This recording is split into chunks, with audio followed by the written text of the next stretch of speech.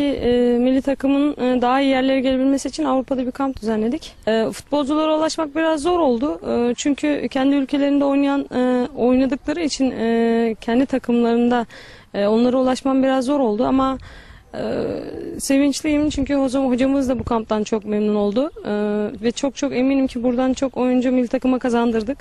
Yaş grupları 90'dan başlıyor. 1990 doğumlardan başlayıp 96'ya kadar yaş grubumuz var. Karışık yapmak zorunda kaldık. Dediğim gibi e, Avrupa'da Türk bayan futbolcu bulmak biraz zor oldu bizim için ama hepsini bir araya toplayıp öyle denemek istedik.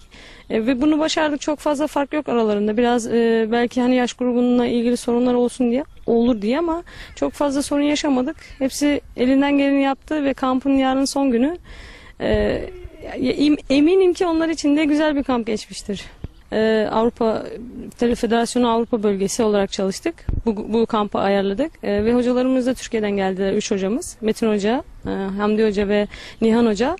Ee, bunlarla birlikte kamp yaptık ve yani e, inşallah devamı gelecek diye düşünüyorum. Kampların sonu olmayacak yani.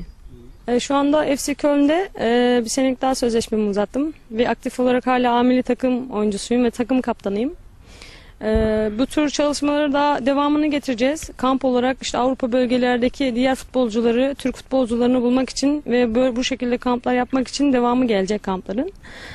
Ee, İnşallah federasyon da bu şekilde bize hani destek verir de e, daha çok milli takımlara oyuncu kazandırma şansımız olur.